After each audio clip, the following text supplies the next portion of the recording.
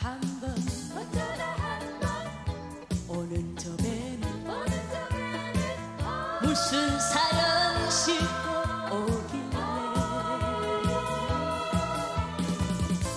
오는 사람 가는 사람.